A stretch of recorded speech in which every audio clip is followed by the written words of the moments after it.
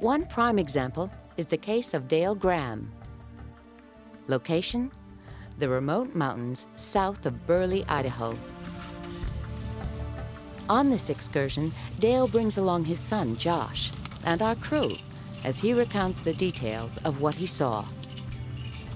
Dale regularly ventures into the backcountry for firewood, but he has avoided this spot for nearly four years. The reason? Fear.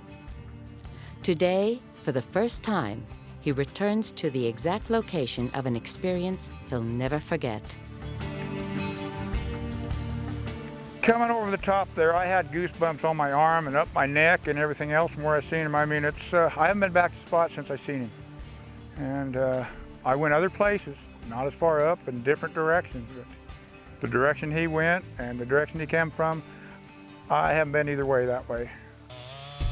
Well, I was, I came up to get a load of firewood and right over here I fell some trees and I blocked them all up and put the chainsaw down and started loading the truck. Uh, just about time I was done with the truck getting loaded, uh, I smelled something.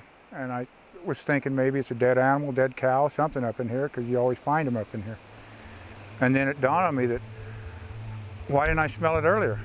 So then I started looking around and there he starts up the hill over there. And like I say, he walked like an old man, a tired old man. He took his right hand, reached out, put it on the tree, and uh, all I could think of, well, uh, I need to go. I mean, I just, he kind of scared me, but he didn't make nothing threatening. He just uh, mind his own business and just going on with what he wanted to do.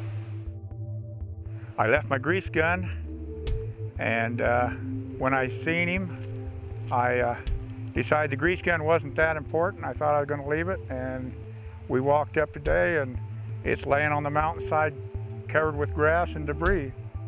In my mind, I can picture what an old man like is walking up a hill, and that's what he did. It's the same way. He just like he was tired. And he was in no big hurry. He didn't seem like he was spooked by me. And I'm, I know he knew I was there, but he didn't pay me no attention. Graham's experience closely aligns with many others.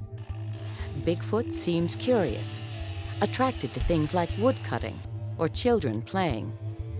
And then there is the telltale smell that Graham noticed, also typical of Bigfoot sightings. In fact, researchers have built a full profile of Bigfoot behavior